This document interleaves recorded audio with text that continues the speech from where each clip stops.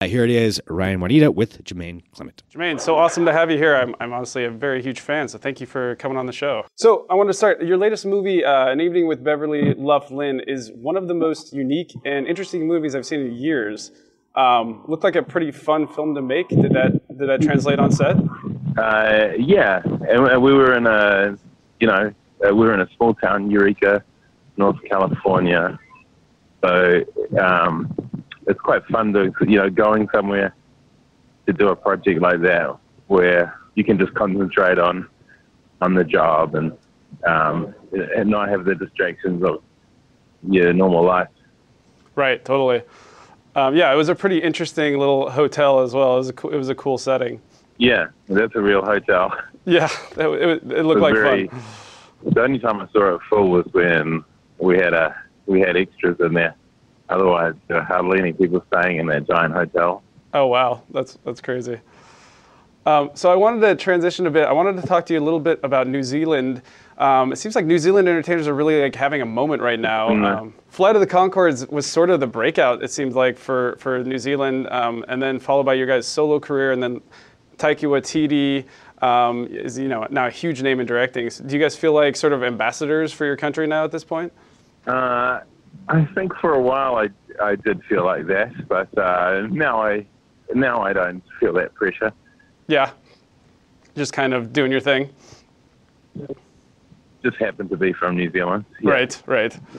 Um, do you, who do you think will be the next person from New Zealand to make it? Do you have any Do you have any friends coming up or anything? Um, well, David Farrier, um, the Dark Tourist show is, is really interesting, and that's Nice. It's doing really well. Yeah, but, absolutely. Um, I'm not sure if any that you haven't seen before, but yeah, I think there's other people who who could um, bring bring stuff out of New Zealand. Nice. I, I, can't I can't name any names. So yeah. I, um, I'm not sure. There's a lot there's a lot of people doing comedy and and film in New Zealand. Absolutely. So Conchords, uh, Flight of the Conchords, your band recently got back together for a tour with new music. Um, are there any plans right now for another season with HBO? Do you know? No, we uh, aren't planning any more season. Have you have they asked for one by chance? uh, no, we haven't really talked to them about that. We just did the special for them, gotcha. and um, you know, and then we every time we do one thing, then we, you know, let it rest for a while, and we're in that dormant stage now. Gotcha. Nice. So we talked to Rhys Darby a while like back. A volcano. Oh, like a volcano, just yeah. kind of waiting to explode again. Yeah, might blow again, or might not. I don't know. nice. Well, we're we're in Portland, in the land of volcanoes, so I, I get that reference uh, more than most, I would say. um, so we talked yeah. to Rhys Darby a while back, um, and, and, we talked about the We're Wolves project when it was in its early stages, which is that mm-hmm. sequel to What We Do in the Shadows. Um, any any idea what's going on with that project? Uh, we haven't done anything on that project because uh, we, Chuck and I have mostly been working separately, and I'm in Toronto right now filming the American adaptation of What We Do in the Shadows, the TV show. Right. Yeah, that was actually going to be my so next I've, question. I've been working.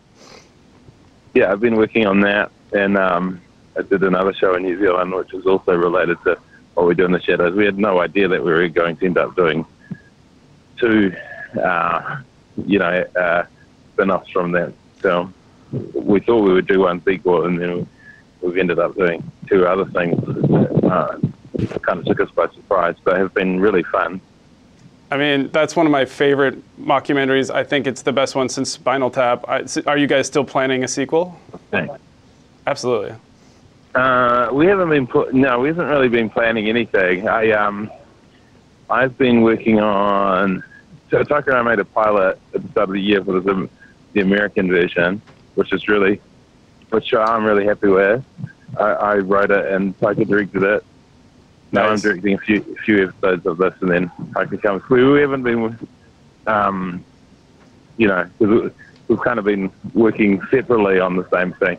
That's awesome. Well, so so you uh, are. We, we, yeah, we haven't had we haven't had time to uh, also do any planning on that film idea.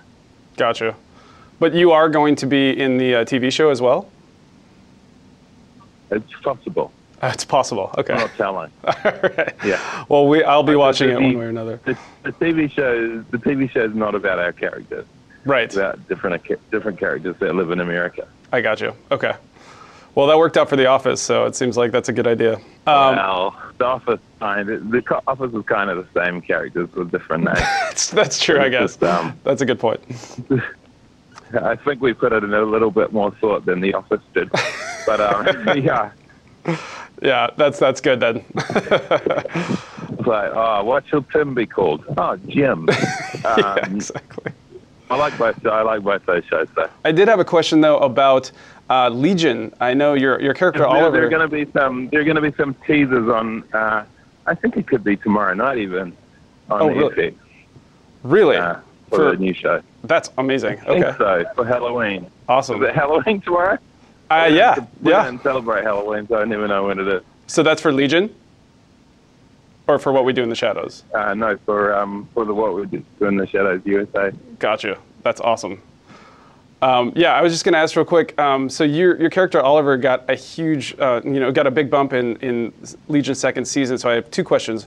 One, uh, was this always planned, or was it your Ice Cube scene, you know, Ice Cube uh, episode that nailed it?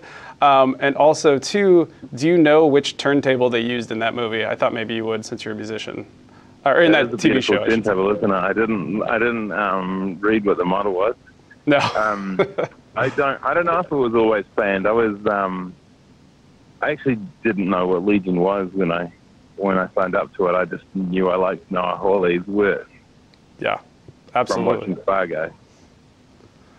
Yeah, it's such a cool And, um, character It wasn't, even, it wasn't even called. Yeah, it wasn't called Legion when they sent it to me because they kind of protect the name and they keep it secret, and they have a kind of code name. So they give me the code name, so I didn't even know that it was a Marvel um, property or anything like that. It's super fun, uh, the character that you bring to the table because you, you have to play sort of. It, it is fun, yeah. He, he's just, he is doesn't quite know do, I what's mean. going on, and, and you get to kind of put your spin on it. Yeah, and it's always fun um, with that show because they are always trying to surprise people. So you turn up uh, to work and it's some crazy visual image that they've created. Yeah, And you're wandering around in it. yeah. The Ice Cube episode is, is one of the most memorable episodes I've seen on TV for a long time. It's just really cool. Okay. Yeah. Um, so, do you know uh, if you'll be in season three? Yeah, I'm curious to know. If you if you find out, let me know. All right, I'll, I'll, I'll talk to my people. I'll see what I can do. okay, thanks. Uh, So getting back to uh, Beverly Luff Linn, um, and that's two words, Luff Linn. Uh, you're used to playing a lot Sorry. of extremely funny, oddball characters, um, but in this one, every character is so strange. It feels like Colin is. He's, you're really funny. I think you're the funniest person in it, but but he sort of comes off as like the only normal person. Uh, was that was that kind of a nice change of pace? Uh, yeah, I um, you know, we I didn't really think about that when we were doing it. Um, I was just trying to, you know, be uh, be Colin, but and in most in, in a normal movie he wouldn't be the most normal person. Just in that movie, exactly. In, in any other, you know, in any other film, he'd be the weirdest character. I know. I was. It, it's amazing as each character comes through. It, they they keep getting stranger. It seems like, and and and Colin sort of holds the glue together. He's just a guy, you know, trying to date Lulu, um, and then everybody else has all these weird agendas going on. Yeah, yeah. But yeah, that was fun. Um, so, so you and Brett are probably my favorite novelty musicians. Uh, so I had to ask, who who inspired you guys to to start? Um, was there some Weird Al back there, some Tenacious D, or were you just kind of doing your thing? Uh, yeah, definitely like those. guys. When we started, I hadn't seen Tenacious D, even though they'd been going for a while. But I re- remember seeing them after we'd started and thinking, "Wow, wow, they're like uh, they've got an album out." Right. yeah, we and a, and a sim- similar kind of thing to what we do. I think um, seeing Bill Bailey, he's a British comedian. Yeah.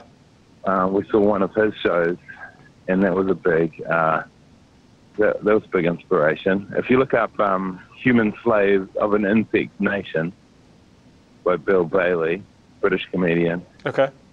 it had a big impact. Nice. Um, so, but you hadn't seen Tenacious D before you went before you did your thing. No, no. That's impressive.